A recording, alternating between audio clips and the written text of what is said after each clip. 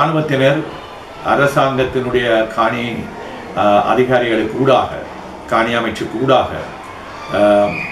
ஆறாயிரத்தி முந்நூற்றி எழுபத்தொன்று எழுபத்தொரு ஏக்கர் நிலத்தை தங்களுடைய தேவைகளுக்காக என்று எடுத்திருக்கின்றார்கள். அதை தங்களுடைய ஆனால் அப்படி தங்களுடைய பொது நோக்கு என்று சொல்லப்பட்டது இராணுவ நோக்கத்துக்காகவே பயன்படுத்தப்பட்டு வருகின்றது. அதைவிட வர்த்தக நோக்கங்களுக்காக அந்த நிலங்கள் பயன்படுத்தப்பட்டு வருகின்றது. இப்பொழுதும் விவசாய நிலங்களில் இராணுவத்தினரே விவசாயம் செய்து வருகின்றார்கள்.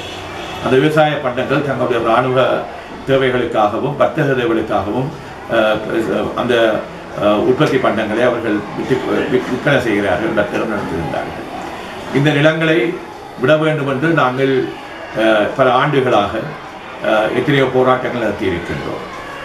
இந்த ஆட்சி மாற்றத்துக்கு பிறகு எந்த நிலங்கள் அபகரிக்கப்பட்டிருக்கின்றதோ அந்த நிலங்கள் அந்த மக்களிடம் அளிக்கப்பட வேண்டும் என்ற அந்த அந்த விதியின் அடிப்படையில் அந்த அறிவிப்பின் அடிப்படையில் இப்பொழுது ஆயிரத்தி நூறு ஏக்கர் நிலங்கள் ஆரம்பமாக வலிவடக்கு வடலாற்று பிரதேசங்களிலே விடப்படுவதில் விடப்படுவதாக அறிவிக்கப்பட்டிருந்தது. அதில் சில குறைபாடுகள் இருந்தன. அந்த ஆயிரத்தி நூறு ஏக்கர் என்பது அஹ், நிலத்தையும் உட்படுத்தியதாக இருந்தது. வளலாய் நிலங்கள் உயர் பாதுகாப்பு வலயத்துக்குள்ளோ அல்லது ஆக்கிரமிக்கப்பட்ட நிலப்பரப்புக்குள்ளோ வராத பது பதவி பகுதிகள். ஆனால் ஆறாயிரத்தி முன்னூற்றி எழுபத்தொரு ஏக்கர் வலிகாமம் வடக்கில் இராணுவத்தினால் ஆக்கிரமிக்கப்பட்டு மக்கள் குடியிருப்பதற்கு அனுமதிக்கப்படாத மீள் குடியேற்றத்துக்கு அனுமதிக்கப்படாத பிரதேசங்களாக இருந்த வகையில் ஐநூற்றி அறுபத்தி மூன்று ஏக்கர் மட்டும்தான் விடு- விடுவிக்கப்பட்டிருக்கின்றது. ஆனால் சென்ற இரு வாரங்களுக்கு முன்னர் முழுக்குடியேற்ற அமைச்சர் இராணுவ அதிகாரிகளுடனும் அரசாங்கத்து பிரதமர் ஜனாதிபதியுடனும் பேச்சுவார்த்தை நடத்தியதன்படி அந்த விடுவிக்கப்படாத இடங்களுக்கு வருகை தந்து நாங்கள் எல்லாம் அங்கே சென்றிருந்தோம்.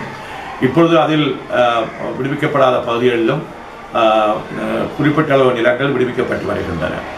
வருகிற பதினெட்டாம் தேதியும் இராணுவ த- தரப்பிலே இராணுவ அமைச்சருடைய செயலாளர் மீள்குடியேற்ற அமைச்சு செயலாளர்கள் யாழ்ப்பாணத்திலே ஒரு இராணுவ தளபதிகளை அழைத்து மேலும் விடுவிக்கப்பட வேண்டிய இடங்களை விடுவிப்பதற்கு நடவடிக்கை எடுப்பதாக எங்களுக்கு தகவல் வந்திருக்கின்றது. அதில் நாங்கள் நாங்களும் அந்த மீள அதாவது குடியேற்ற வேண்டும் என்ற விடயத்திலும் உத்தரவளிக்க உத்தரவாதம் அளிக்கப்பட்ட அந்த நிலங்களை மீள கையளிக்க வேண்டும் என்ற விடயங்களிலும் நாங்களும் அமைச்சுடனும்